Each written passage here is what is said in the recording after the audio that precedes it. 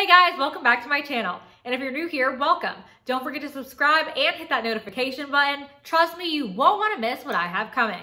This week on Straight From The Source, I chatted with season 19 voice contestant Cami Clune, and we talked about everything from what it's like filming with social distancing guidelines in place, potential new music, and if you're a fan of Cami, you're definitely going to want to stick around until the end because she told me what she's calling her fans.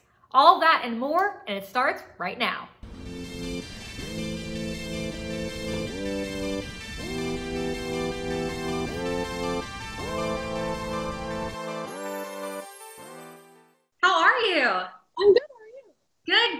Thanks so much for chatting with me. Nice to meet you. Oh, yeah, of course. Thanks for having me. Nice to meet you too. All right, good deal. So, where are you right now? Are you back home in Buffalo? Or are you in Los Angeles? Um, I'm not allowed to say, but um, yeah, I'm not allowed to say. Okay. No. no so thus far, we have seen only your blind audition, not your battle round just yet. But that blind audition has already racked up more than a million views on YouTube, which is incredible. Yeah. So let's start there and kind of backtrack to how you got here in the first place. What made you audition for The Voice in the middle of a pandemic? Why not push your audition to a later season? Yeah. Um, well, this is technically my fourth time auditioning. Um, yeah, so I auditioned um, first when I was 17, and um, yeah, then I got called um, to come audition again in February. So this is before anything was really happening with uh, COVID. And yeah, I just decided to keep going with it because I mean I've been wanting to do this to do this show for a while, and uh, yeah, it's it's kind of a cool time also because um, you know I'm not really working, I'm not doing my gigs like I usually do. So the the opportunity to be able to um, go out to LA and do what I love is pretty cool. Yeah, that's really cool. So, I mean, did you watch last season of The Voice at all? Yes, I did. Okay. Yeah, it was um, mostly virtual the halfway right. through. Yeah. So, what did you think of that when you saw that? Did that kind of deter you at all, maybe a little bit when you were thinking about auditioning, or not really?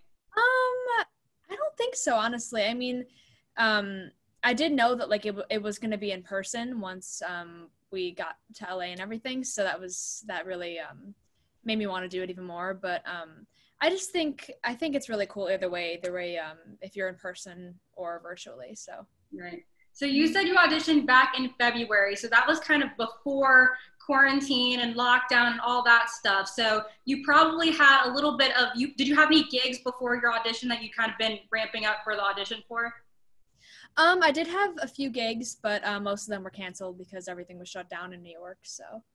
So how did you even, I mean, prepare? How do you go from being at home, not really being able to perform in front of a live audience to performing for some of the biggest names in the music industry?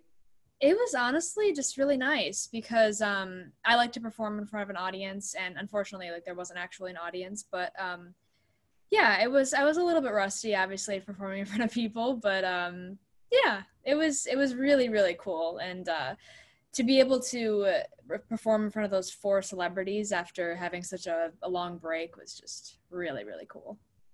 I mean you did a great job. It was it was a great audition. Obviously people are loving it on social media and youtube. Um, but you judging by your social media it seems like you like to sing a little bit of everything. I think i've seen everything from broadway show tunes to billie eilish. So how did you yeah. settle on skinny love for your audition song yeah, I, I like to sing a lot of different um, styles of music.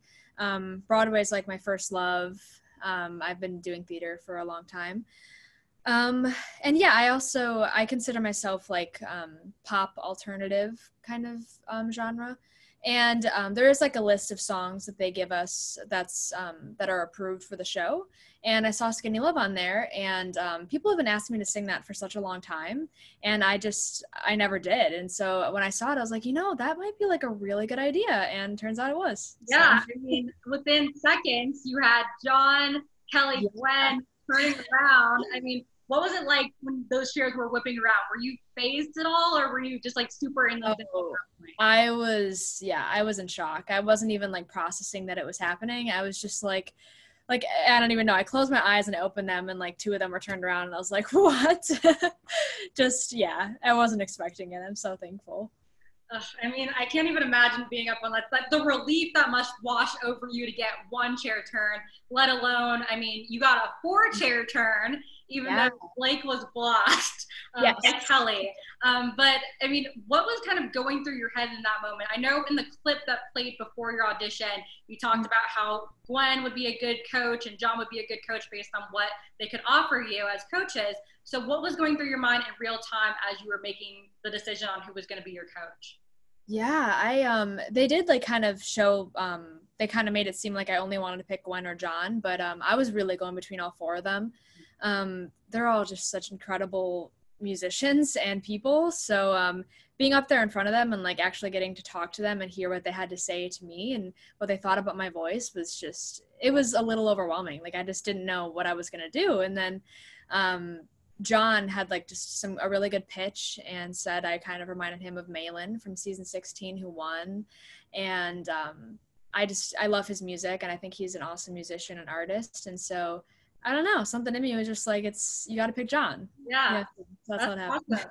well, I mean, at this point, we don't obviously know how far you're going to go with John or not, but um, you made it through blinds. We know that you at least are in the battle round. So, I mean, talk to me. What was it like walking into your first rehearsal with John Legend? It was insane. I mean getting to walk in there and it was the first time I actually got to work with him was um, meeting Miguel too. So it was like double the amount of excitement. Um, yeah, it was really it was really a, um, a star striking moment to be even closer to him and having him coach me on something and not just like listen and you know he never heard me before before. So this was it was really cool. Awesome. Well, I mean, what's on the on camera on screen obviously viewers don't get to see all that goes into those coaching sessions. So as far as the, the advice maybe that john has offered you even thus far what's something that you've really like kind of taken to heart um, that he's helped you with?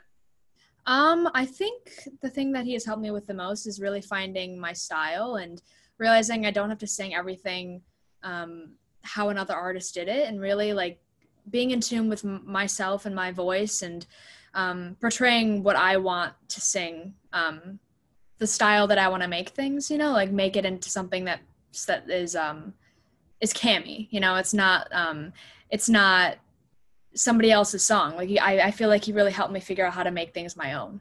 Yeah, that's awesome. I mean, the the chance to work with John Legend obviously is like one in a million. Um, and I'm sure it would be awesome to see all the little things that he's able to teach you and share, but we don't get to see that on screen. Yeah. So lucky for you getting, I hope you're like harvesting all of it and like really taking it in. Oh, totally. Yeah. experience. Um, but like I said, while, while we don't get to see everything on screen, we viewers have noticed some changes so far this season in terms of the social distance social distancing guidelines in place. Uh, the partitions in the rehearsal rooms, obviously the mentors a little bit further away from even each other than usual, and even the battle rounds having two separate rings, whereas usually obviously uh. are in one ring, literally battling it out. So, what was it like for you, kind of filming with those guidelines in place? Yeah, it was it was a lot different from the beginning. I mean, when I got to LA, I had to quarantine. Um, I had to isolate for a while. Um, we all have to wear masks like any time that we aren't on screen, um, social distance from each other. So that was a little different in uh, making friends and getting to know the other contestants. Um, but honestly, I feel like um, all of us got really close, even though we had to follow those guidelines. I think because we were all um, just in this in, in it together, you know. And um, yeah, it was it was very different. Um, but it was it was a really um, it was a really good experience, and yeah. well, while the show might look a little different with those guidelines this season, and while this might be your first big TV singing competition, it's mm-hmm. not your first singing competition overall, and you've you've actually won a few in the past, right? So, yes, about yeah. those. Yeah, um, I did some local competitions um, since I was like 13. Um, I did this one like Christian competition when I was 13 locally, and I won that, and um, you know, just some other local stuff. But um, I have done like short films and stuff as well, so I've um, I know like kind of what it's like to be on screen. So um, I think that was that was nice to go into that and like know how to navigate that a little bit. And with those previous competitions, do you think that you took anything that you learned in those kind of consciously took with you into your voice journey? Um, I, you know, I'm not sure.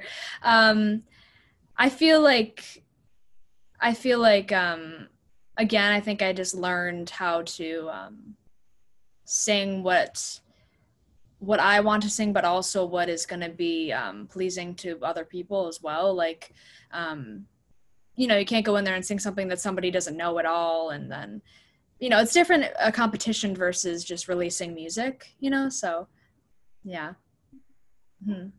All right. Well, The Voice obviously offers contestants a massive platform while you're on the show. So, what do you hope to use your platform for right now? Um, I really just want to use this platform to um, show my music and show my art, and also just um, raise awareness for Ehlers-Danlos syndrome that I have, and um, just be an advocate for people, and and uh, I, I hate to say the word like influencer, but like be able to um, influence people for good, you know, and use what I have use this platform that I'm um, gaining right now to really to really use it for a good purpose and um, as well as releasing you know my music and my art. Yeah i saw after the your first episode aired where you did talk about your diagnosis um, mm-hmm. you posted a thing on social media to your eds warriors what mm-hmm. kind of feedback did you get from people after that aired just with support or any messages to you yeah i got a lot of good feedback um, i got a bunch of people with eds um, reaching out to me saying like thank you for being an advocate for us and um, and showing other people that this this isn't such a rare disease you know there's a lot of people that struggle with it and um, have a very hard time finding a diagnosis so i got a lot of feedback from people um, that have it, and even like family members, um, like people's family members that have reached out to me and stuff. So it's it's been really nice to have um, that validation that I'm really doing this for a purpose. Yeah, that's great. And I mean, you you obviously got national support with with that, and then you mm-hmm. also have some local love as well. I think I've seen on social media a couple places your name's up in lights in Buffalo. So what does it mean to have the support of your hometown as you're kind of fighting for this dream all the way on the other side of the country. It is very cool to have the support of my hometown. Um, yeah, I mean, just the amount of signs and people reaching out to me, and um, yeah, Buffalo is really the city of good neighbors. Um, they really like to uh, support their own, and it's very it's very cool to see that. Yeah. Well, at this point, it's not just Buffalo. It's not just nationally. I mean, people all over the world at this point have seen you sing. But as you kind of touched on a little bit before, you're a bit of a triple threat. I mean, you have formal dance training, you were studying musical theater, you mm-hmm. appeared in a short film, which we'll get to again in a second. Um, all these talents, what do you see yourself doing down the road? Are you, you thinking you'll maybe merge them together, or is singing really the main focus at this point?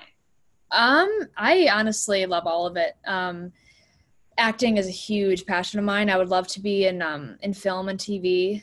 Um, dancing as well, although like um, I haven't really been into that as much in in a very long time. So you know, it's not really my strongest suit. Um, but yeah, singing and acting are definitely my main my main goal. Um, Broadway plays that sort of thing as well. Um, even like film, I'm very interested in editing and uh, directing and um, things behind the scenes. So you know anything in this industry as far as acting and singing and dancing goes i, I will take anything That's cool. I mean, like you again, multi multi talented is always a good thing. You don't want to like limit yourself to just one thing. Um, totally. Going back to the, that short film, Blink of an Eye, you were actually the lead in that. Um, so, talk to me about how you even got involved with that. Because from what I saw, you kind of had your hand in a couple different aspects of the film. Yeah, um, it was a local thing again. Um, this it was just like um, I think it was on like Facebook or something. it was uh, like a casting call, and I auditioned and got the role. And it's about um, it's about this girl who struggles with um, drug addiction. She got addicted to opioids because she had um, an injury to her knee, and um, it, the film the purpose of the film was to raise awareness for um, those struggling with addiction, and um, raise awareness as far as you know being able to help them and um, you know prevent prevention as well. So like to get that film into different um, schools and different programs in order to help people. And yes i, I did also sing the title track in that. Um, it was a cover of if i get high by nothing but thieves. And um, i also did do work um, on some production stuff. Like I, I, sat in the room and like watched the editor and like said like oh we should do this here and this here. And uh, yeah that is that's just what i love to do and i really hope that i get to do more of that in the future and maybe on a bigger scale so. Would you ever want to do it all on your own like directing calling all the shots starring in it everything? Honestly that would be very cool. I um since i was a kid i've just been very much like an entrepreneur and um I, I had this um, I don't know if um, you knew about this uh, Backyard Broadway that I started. It was like yeah, it was an organization um, to raise money for kids with cancer, and I basically was like the director of all of it. I was like the coordinator, and um, yeah, it was a little bit weird to be like the director of people my age and my friends, but uh, it was it's just yeah, that's just it's very cool, and that's that's what I love to do, and the chance to be able to direct and star and star in something would be yeah, that would be my dream. um, well, fingers crossed for that for the future. Yes. Um, but I mean, all of that aside, um, you're killing it. So best of luck with all that. Um, you. You've certainly gained a voice in your local community through obviously your organization and your gigs, and then now on the voice with a broader scale. Obviously, for every contestant, the goal is to win, to go all the way. Um, but even if that's not ultimately the outcome, you're still gaining a fan base uh, along the way. So, I mean, after The Voice is over, do you see yourself releasing original music for those new fans and for people who've been with you all this whole time? Oh, yeah, for sure. I mean, like, no matter what, I mean, no matter how far I get in the competition, I would love to um, release music to my new followers. And uh, yeah, it's very cool to have people that are believing in me and want to hear more. And hypothetically, if that album was dropping tomorrow, what would the vibe be? Ooh, that's a good question. Um, I think it would be sort of like a eerie, um, you know, like Lana Del Rey, Billie Eilish kind of thing. Um, yeah, like eerie, soft, but you know, add some like fun things as well. yeah. And are you a songwriter at all? Would you have a hand in writing the songs for the album, hypothetically? Yes, I, I am a songwriter. Um, I I definitely would like to have some help with that as well because um, I definitely don't think it's like my number one strongest um, part of my part of myself. But um, I would love to continue to work on it and um, release this because I have so many ideas. It's just uh, I would love to have somebody really help me to narrow it down into what I want to say. Mm-hmm. Do you have anything written now that you've kind of been playing around with in the past few months? You know, I have a lot of things that are unfinished. I have all these ideas and then I write them down and then I just I kind of throw them away and I, I never finish them. So um, that's a goal of mine is to finish, finish the song. Yes. Yeah. Very cool. Well, one final question, perhaps most important of all, do you have a name for your fans? Well, I don't exactly know. I had like a, a, little poll on um on Instagram and stuff, and there were some mixed like feelings about all of it. But uh, at the moment, I'm going with Cam Fam. Cam Fam. Yeah, but um, yeah, I have to think about it. There there were some other options as well. Well, I think that's a solid start. Um, and regardless of what you're going to call them, I'm sure that your fans will be cheering you on uh, through the rest of your journey and beyond. Um, and so I wish you the best of luck. And thank you again for chatting with me. Yeah, of course. And I also, you know, I forgot to say I'm a I am. I do have a song released. Um, it's like an EDM track though, so I don't consider it like my full original song. Mm-hmm. But um, that is released and out. So I do have something that is finished. it's called uh, "Wanna Be" by Rezi and featuring me. So, yeah, I just wanted to throw that out there. Oh, that's good. I'll link to it um, so that everyone can check it out. That'd be awesome. Thank you. Thank you so much, Cami. Thank you so much for having me. Best of luck. Bye-bye. bye bye